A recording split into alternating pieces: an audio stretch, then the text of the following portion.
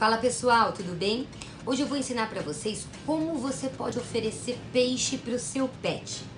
Bom, os peixes eles têm que ser oferecidos sem espinho, principalmente. E a recomendação é de uma a duas vezes na semana. Como que a gente deve servir? Eles moderadamente cozidos.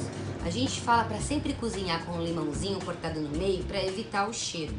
Quais são os peixes que você pode oferecer para o seu pet, né? Você pode oferecer pescada, merluza, polaca do Alasca, São Peter, namorado e vários outros peixes aí. Esses são só alguns dos mais conhecidos que você pode usar como uma opção aí na casa de vocês. Lembre-se, sempre sem espinho, combinado? Tchau, gente! Espero que vocês tenham aprendido!